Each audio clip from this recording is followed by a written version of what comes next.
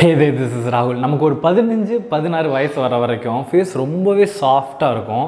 But once நம்ம adolescent stage reach ஆன உடனே ஹார்மோன்ஸ் சேஞ்ச் ஆகும் பாடி ஹீட் இன்க்ரீஸ் ஆகும் கூடவே பிம்பிள்ஸும் வர ஆரம்பிச்சிடும் இது எங்கள் அம்மா கிட்ட சொன்னால் பொண்ணாக இருந்தால் கவலைப்படலாம். பையன் தானடா உனக்கு என்னடா தம்பி? அப்படின்னு சொல்லுவாங்க. ஏன் மம்மி யூ ஆர் ரைட் அப்படின்னு போயிட்டே இருப்போம். பட் காலேஜுக்கு போன உடனே யாருமே நம்மளை பார்க்கலனாலும் மூஞ்சி கொஞ்சம் கேவலமாக இருக்கோ?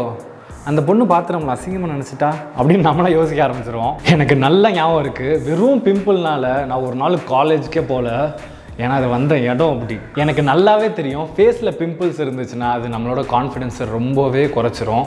கான்ஃபிடென்ஸ் இல்லைன்னா ஒரு பொண்ணை அப்ரோச் பண்ணுறது கஷ்டம். நாலு பேர் முன்னாடி நின்று பேசுகிறது கஷ்டம். என்ன தான் நம்ம ஃபில்டர் போட்டு செல்ஃபி எடுத்து அப்லோட் பண்ணாலும் காலையில் எந்திரிச்சோடனே நம்ம மூஞ்சியை க்ளோஸ்அப்பில் பார்க்குறது ரொம்பவே கஷ்டம். இன்னைக்கு இதோட முடிவுக்கிட்டே ஆனோன்னு கூகுளில் போயிட்டு how to take care of my face how to get rid of பிம்பிள்ஸ்னு type பண்ணி பார்த்தா காலையில் எந்திரிச்சோன்னே லெமன் ப்ளஸ் சுகரை மூஞ்சியில் தரவணும் கடல மாவு face wash face mask face scrubber moisturiser sunscreen fairness cream ஐயோ என்னால் இவ்வளோலாம் முடியாது. என்கிட்ட அவ்வளோ காசும் இல்லை அவ்வளோ பொறுமையும் இல்லை அவ்வளோ டைமும் இல்லை. நமக்கும் பொண்ணுங்களை மாதிரி சாஃப்டாக ஸ்மூத்தாக ரோசியாக ஷைனிங்காக ஒரு ஃபேஸ் இருக்கணும்னு எந்த ஒரு அவசியமே கிடையாது. நமக்கு தேவையானது எல்லாமே ஒரு பிம்பிள் ஃப்ரீயாக ஒரு கிளியரான ஃபேஸ் இருந்தால் போதும். அப்படி ஒரு பிம்பிள் ஃப்ரீ கிளியர் ஃபேஸ்க்கு நான் நிறைய செலவும் பண்ணிடக்கூடாது.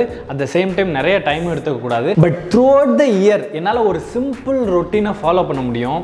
அந்த ரொட்டீனை தான் இன்றைக்கி உங்ககிட்ட ஷேர் பண்ணிக்க போகிறேன் let see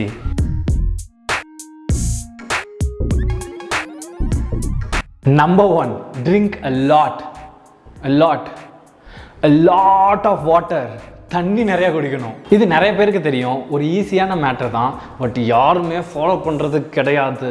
எப்படின்னா இந்த பிரேக் டைமில் லன்ச் டைமில் ரொம்ப தவிக்கிறப்ப தண்ணி குடிக்கிறதுக்கு பேர் நிறைய குடிக்கிறது கிடையாது.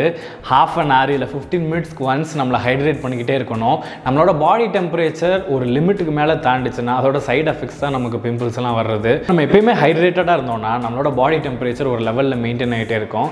ஸோ அதனால் பிம்பிள் வர்றதுக்கு அதிகமாக சான்சஸ் இருக்காது. நான் ஆஃபீஸில் எப்பயுமே தண்ணி பாட்டில் பக்கத்தில் வச்சு வச்சுட்டே இருப்பேன்.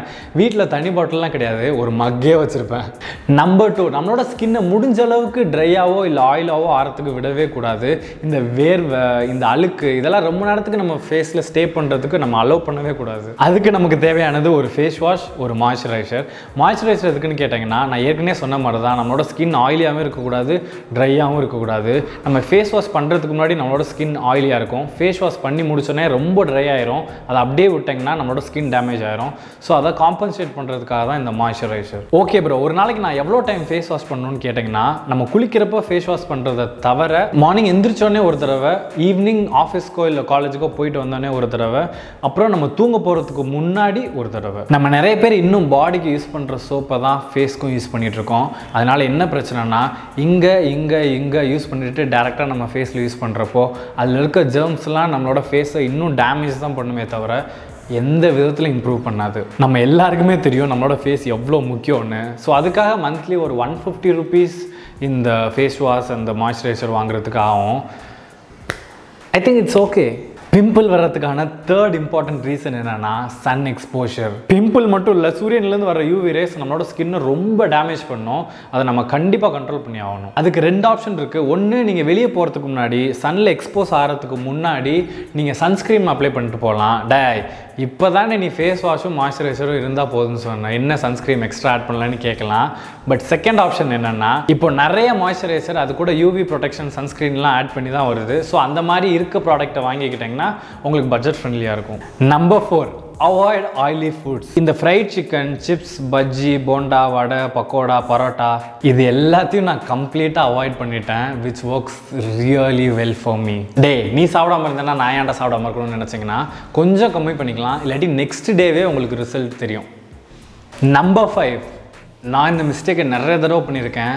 Avoid keeping hands on your face hand wash பண்ணாமல் நம்மளோட கை நம்ம ஃபேஸில் எப்பயுமே டச் ஆகவே கூடாது. நிறைய பேருக்கு இந்த ஹேபிட் இருக்கும். அப்பப்போ அந்த ஃபேஸில் டச் பண்ணுறது இந்த நோஸ் எப்படி இந்த மாதிரி பண்ணி விடுறது இதெல்லாம் நம்ம பண்ணவே கூடாது. அதெல்லாம் நம்ம பண்ணுறப்ப கண்டிப்பாக நம்ம ஃபிங்கர்ஸில் இருக்க டர்ட் பாக்டீரியாலாம் நம்ம ஃபேஸ் அஃபெக்ட் பண்ணும். இன்னொரு முக்கியமான விஷயம் ஏற்கனவே நமக்கு பிம்பிள் இருந்துச்சுன்னா அதை நம்ம கையால் பாப் பண்ணிடவே கூடாது. நான் ஏற்கனவே சொன்ன மாதிரி தான் நம்ம வெறும் கையில் இருக்க பாக்டீரியாஸ் ஜெர்ம்ஸே போதும் ஒரு பிம்பிளை கிரியேட் பண்ணுறதுக்கு நம்ம ஃபேஸில் இல்லை ஏற்கனவே இருக்க பிம்பிளில் உங்களோட ஃபிங்கர்ஸை வச்சிங்கன்னா அது இன்னும் அதிகமாக தான் டேமேஜ் பண்ணும். ஃபார் சம் ரீசன் நீங்கள் ஃபேஸில் கை வைக்கணும்னா ஒன்று ஹேண்ட் வாஷ் பண்ணிக்கோங்க. இல்லை டிஷ்யூவோ ஹேண்ட் கர்ச்சீஃபோ யூஸ் பண்ணிக்கலாம். தட்ஸ் ஆல் இந்த அஞ்சையும் ஃபாலோ பண்ணுறது ரொம்பவே ஈஸி நான் ஒரு டூ இயர்ஸாக ஃபாலோ பண்ணிகிட்டு இருக்கேன். And I hardly get pimples now. நார்மலாக எல்லாருக்கும் இந்த ரீசன்ஸ்னால தான் பிம்பிள்ஸ் வரும். நம்ம இதை கண்ட்ரோல் பண்ணாலே நமக்கு சரியாயிரும்.